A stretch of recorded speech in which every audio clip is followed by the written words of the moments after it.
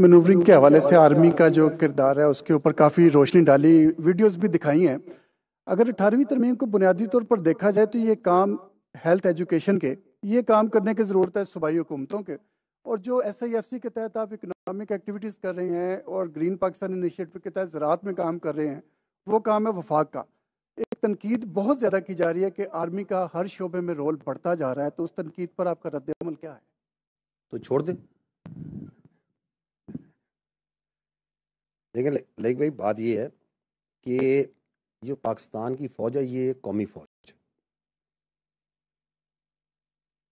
آپ یہ پہلے سوال کریں کہ یہ اس فوج کے جو افسر ہیں، جو اس کے جوانان ہیں، جو اس کے غازی ہیں ویٹرنس ہیں، اس کے شہداء کے ان کے، ان کی جو اولادیں ہیں، وہ کہاں سے آتی؟ اس ملک کے طول سے آتی؟ وہ گلگت سے آتی ہیں، بلتستان سے آتی ہیں، کوئٹہ سے آتی ہیں، کشمور سے آتی ہیں۔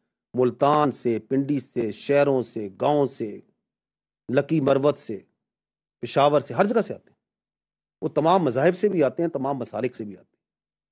اور سب سے بڑھ کر جو سمجھنے کی بات ہے کہ وہ اس ملک کے متوسط علاقوں سے آتے ہیں مڈل کلاس سے آتے ہیں، غریب خاندانوں سے آتے ہیں۔ تو یہ جو آپ کی فوج ہے، اس کے جو افسر ہیں، اس کے جو جوان ہیں، یہ اس ملک کا اشرافیہ تو نہیں ہے۔ یہ تو وہ گلدستہ ہے جو کہ متوسط اور غریب طبقوں کا ہے، تمام رنگوں کا ہے، تمام مذاہب کا ہے، تمام علاقوں کا ہے، تمام نسلوں کا ہے۔ اور یہ ایک میرٹ بیس سسٹم کے تحت کام کرتا ہے۔ اور اس میں جو افسر ہے، جو جوان ہے، اس کی جو پہلی اور اولین بھی اور آخری ترجیح کیا ہے، وہ پاکستان ہے۔ And that is why you see کہ وہ جو افسرز ہیں اور وہ جو جوان ہیں، جو اس کی سب سے قیمتی چیز ہے اس کے پاس، وہ کیا ہے؟ وہ جان ہے اس کی۔ وہ یہ جان اس ملک کے تحفظ، اس کی انٹرنل سیکیورٹی اس کی فلاح بہبود کے لیے دینے کو ہر وہ تیار نہیں ہوتا۔ اور یہ جو تسلسل ہے جانے دینے کا، یہ انیس سو سنتالیس سے چلا آ رہا ہے اور چلتا رہے گا انشاءاللہ۔ لیکن اس کے لیے the all credit doesn't go to اس اس کا جو مین کریڈٹ ہے، وہ جاتا ہے پاکستان کی ان بہادر ماؤں کو۔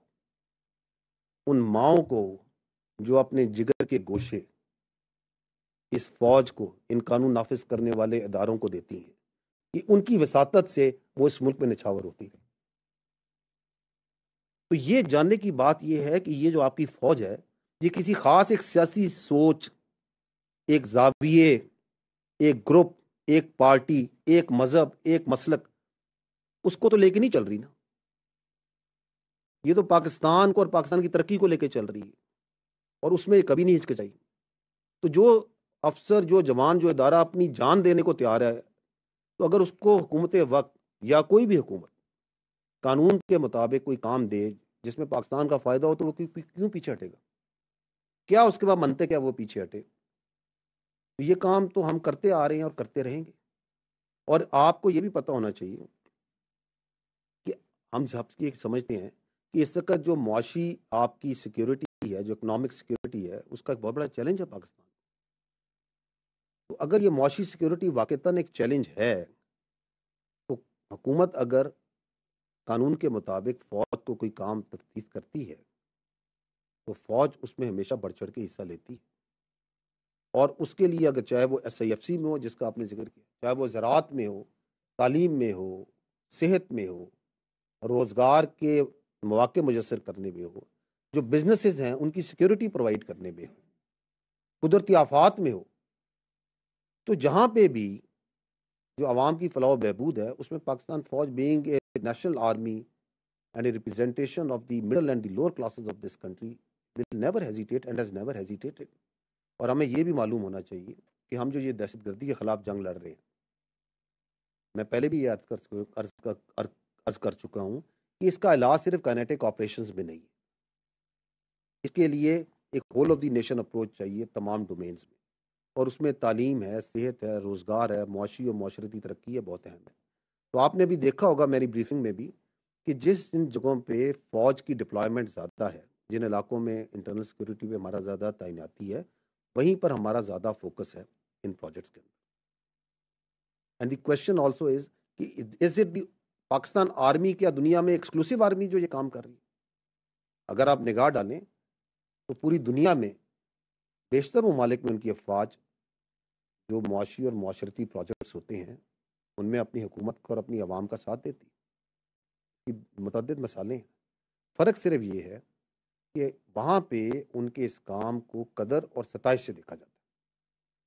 ہمارا مسئلہ یہ ہے کہ ہم اپنے سیاسی مقاصد کے لیے، اپنے مضمون نیرو انٹرسٹ کے لیے اس کو تنقید کا نشانہ بناتے ہیں۔ اور یہ اس لیے ہوتا ہے کیونکہ یہاں پہ ایک مافیا ہے۔ مجھے افسوس کے ساتھ کہنا پڑتا ہے کہ یہاں پہ ایک مافیا ہے جو یہ نہیں چاہتا کہ پاکستان کی عوام ترقی کرے اور اس کی فلاح و بہبود وہ مافیا یہ سوال تو نہیں کرتا کہ جس اشرافیہ کی ذمہ داری ہے کہ تعلیم کو یقینی بنائے، صحت کو، روزگار کو بزنسز کو یقینی بنائے، وہ ان پہ سوال نہیں کرے گا۔ وہ یہ سوال نہیں کرے گا کہ ان چیزوں کی وجہ کیا پرابلمز ہیں، کیا ایشوز ہیں جن کی وجہ سے یہ چیزیں عوام کی فلاح و بہبود نہیں ہو رہی۔ اور کس طریقے سے ان مسائل کو ہم مل کے حل کر سکتے ہیں۔ اس کو تکلیف اس بات پہ ہے کہ فوج کیوں عوام کی فلاح و بہبود اور ترقی اور پاکستان کو آگے بڑھنے کے لیے کام کر رہی ہے۔ خدا نہ خواستہ اس کی وجہ یہ تو نہیں کہ یہ مافیا سمجھتا ہے کہ اس کی کامیابی عوام کو مجبور اور غریب رکھنے میں ہے تاکہ اس کا استحصال کر سکے۔ میں پہلے بھی اس فورم پہ کہہ چکا ہوں اور میں آج دوبارہ یہی بات کہوں گا۔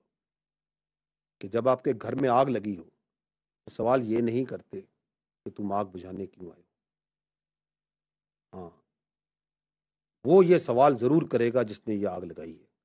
کیا اس کو اس آگ لگانے میں فائدہ ہے؟ ضروری یہ بات ہے کہ اس سوال کو کرنے والے کو اور اس آگ کو لگانے والے کو پہچانیے۔ کیونکہ پاکستان انفارچونیٹلی بدقسمتی سے وہ یہ سمجھتا ہے کہ پاکستان کی تباہی میں اس کی کامیابی ہے۔